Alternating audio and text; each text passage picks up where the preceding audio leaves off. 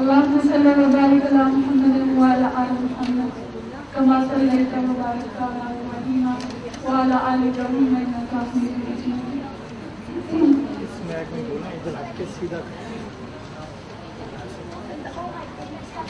بہت عزیز بہنوں، السلام علیکم ورحمۃ اللہ۔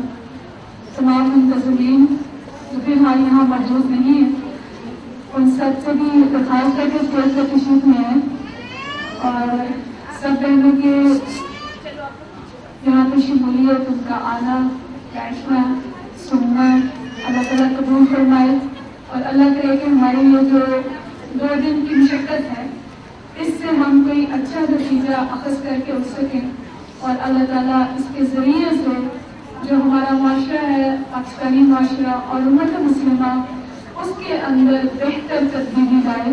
اور ہمارے اس سول کو نتیجہ بھیج دیں اس سے پہلا جو سیشن تھا، اس میں آپ سب نے سنا راہیل بہن کا جو پروگرام تھا، وہ میرے پروگرام کے ساتھ کو ریلیٹڈ تھا کہ خاندان ہے کیا؟ اسلام میں خاندان کے لیے سے ترکیبی کیا ہے؟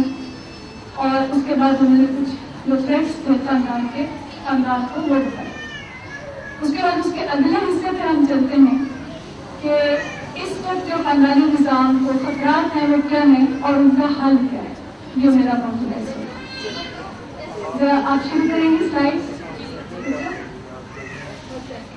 خاندانی نظام کی ناکامی کے اسباب میں مجھے لگتا ہے کہ سب سے پہلی چیز جس پہ ہمیں غور کرنا چاہیے اور ایک مسلمان کو کسی بھی چیز کی کامیابی، ناکامی، حل کو سوچتے ہوئے جس طریقے کار یا جس پیرامیٹر کو سامنے رکھنا چاہیے، سب سے پہلی بات اس میں یہ ہونی چاہیے کہ ہم مسلمان اور ہم ہدایت کہاں سے لیتے ہیں؟ ہمارے پاس گائیڈنس کی کتاب کون سی ہے؟ ہمارے پاس نمونہ کون ہے؟ ہمارے پاس جو ایک معاشرہ تھا نمونے کا، مثال کا، وہ کون سا تھا؟ انہیں چیزوں کو سامنے رکھتے ہوئے ہمیں بات کرنی چاہیے۔ اس کے بعد ہم باقی جتنی مثالیں دنیا سے دیں، تاریخ سے دیں، جہاں سے دیں۔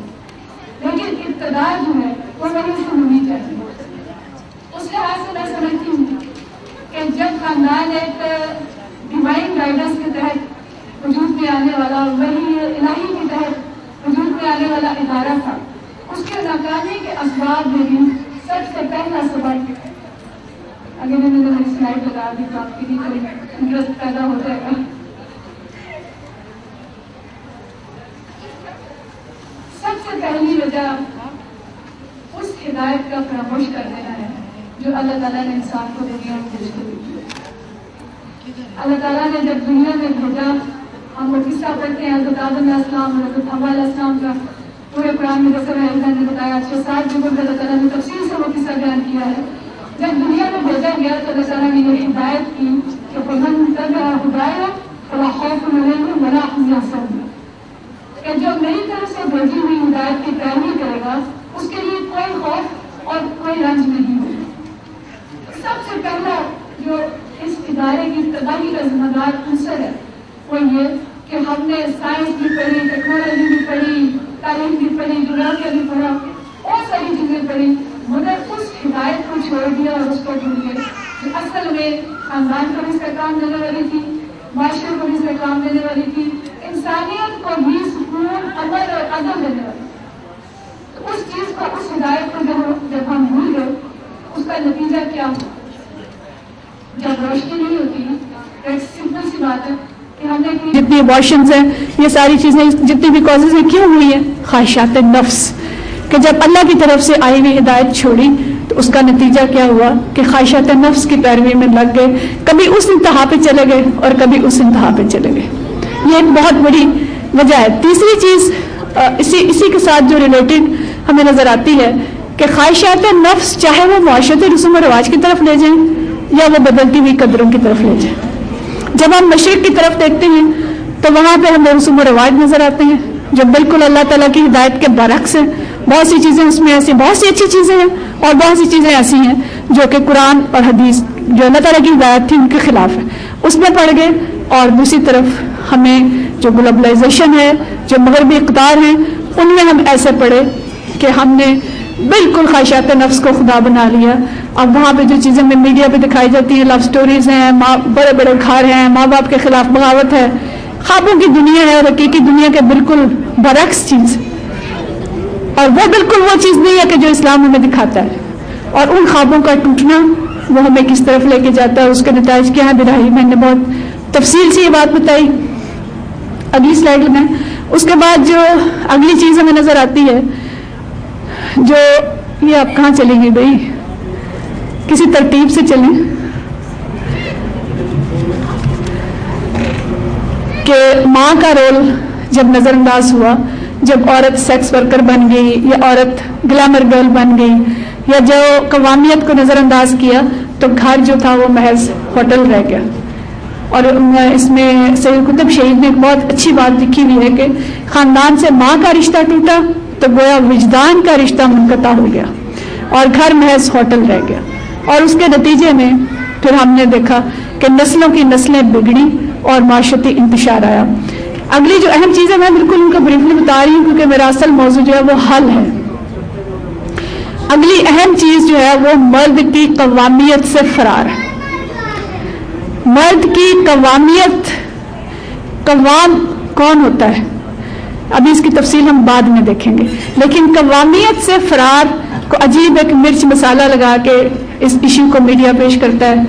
اور دنیا میں مغرب نے جو اس کو دکھایا کہ عورت کو بالکل مد مقابل بنا کے کھڑا کر دیا۔ اور ادارے کی جو تنظیم اللہ تعالیٰ نے کی تھی اور نبی کریم صلی اللہ علیہ وسلم نے جو اس کی حیثیت ترکیبی بتائی تھی، اس کو چھوڑ کے بالکل ایک ڈفرینٹ ہمیں تصور دیا کہ عورت اور مرد برابر ہے وہ وہ ڈسکشن پہلے سنی بھی ہو تھوڑی سی ہم آگے بھی دیکھیں گے۔ لیکن اس قوامیت کو نظر انداز کر کے یا اس کو توڑ کے دو چیزوں کی طرف ہم گئے۔ ایک جاہلانہ معاشرہ، جس نے تصور قیادت کا غلط مطلب لیا میل ڈومیننس کو دوسری سطح تک لے گئے۔ اور دوسری طرف ہمیں جدید معاشرہ نظر آتا ہے، جس نے عورت کو سرکش بنا دیا۔ ادارے کا سربراہ جب ختم ہو جائے گا، نہیں رہے گا تو کوئی بھی ادارہ قائم نہیں رہ سکتا۔ آپ کسی اسکول اور کالج کے پرنسپل کو ہٹا دیں اور پھر آپ کہیں کہ وہ اسکول اور کالج قائم رہے تو وہ قائم نہیں رہ سکتا۔ تو یہ ایک بہت بڑا فیکٹر ہے خاندان کے ٹوٹنے میں اور خاندانوں کے انتشار میں کہ قوانیت کے ادارے کو اس کو توڑا گیا۔ چوتھے نمبر پہ جو چیز آتی ہے، وہ خاندان کے خلاف منظم مہم ہے۔ جب بھی ڈاکٹر فرا نے مختلف طریقوں سے ہمیں چیزیں دکھائیں، جتنا ان کے لیے ممکن تھا اس وقت میں لیکن یہ منظم مہم این جی اوز نے بھی اٹھائی میڈیا نے بھی اٹھائی، مغربی مفکرین نے بھی اٹھائی اور یونائٹیڈ نیشنز نے بھی اٹھائی۔ اور اس کے مختلف پہلو، آپ سب اس سے بڑی اچھی طرح سے واقف ہیں۔ حقوق نسوان کے نعرے کس طرح غلط رخ پہ گئے؟ وومن امپاورمنٹ کی بات کی فیمنزم کی بات کی، اور جتنے بھی اس کو آپ کہہ لیں، اور اس سب کے نتائج راہیل نے بڑی اچھی طرح سے دکھائے کہ کس طرح سے تھاؤزنڈ آف ابارشنس فرا نے بتائیں۔ اور طلاقوں کی کثرت اور ڈے کیئر سینٹرز اور جتنی بھی ساری چیزیں ہیں، وہ سب اسی چیز کا نتیجہ ہے۔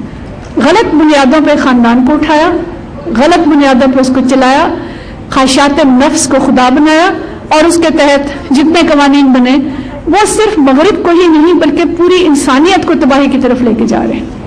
پوری انسانیت کو وہ تباہ کر رہے ہیں، صرف مسئلہ امت مسلمہ کر نہیں ہے، یہ پوری انسانیت کا درد۔ تو مغربی مفکرین اس وقت بھی ان کے ہاں دو گروہ پائے جا رہے ہیں۔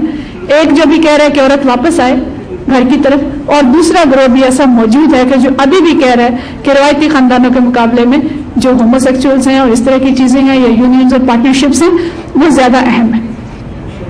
تو مغرب کا ایک خوف جو اس کو ہمارے پر منظم حملہ کرنے پہ اکسار ہے، وہ ان کی اپنی تباہ ہوتی ہوئی اقدار ہے۔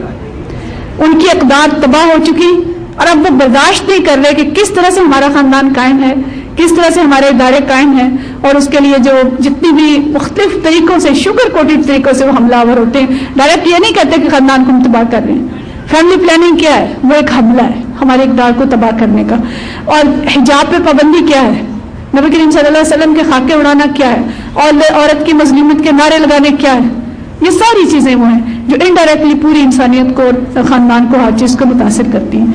نمبر پانچ پہ میرے خیال میں جو بڑی ایک وجہ ہے وہ مادیت پرستی جو نبی کریم صلی اللہ علیہ وسلم نے واضح الفاظ میں فرمایا تھا کہ وہن وہن ہوگا جو تمہیں تباہ کر دے گا اور وہن ہوگا کہ جس کی وجہ سے دوسری قومیں ٹوٹ پڑیں گی، جو ہمیں کمزور کر دے گا۔ یہ وہن، یہ مادیت پرستی، بہت سارے فیکٹرز اس کے نیچے بھی آتے ہیں۔ میڈیا بھی ایک بہت بڑا ذریعہ ہے جو وہ بڑا گلیمر اور بڑی چیزیں دکھاتا ہے۔